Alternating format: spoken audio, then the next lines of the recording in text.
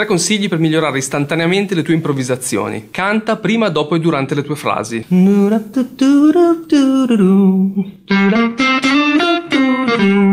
Non suonare sempre sui box, ma sperimenti ed esplora in orizzontale. Struttura domanda e risposta.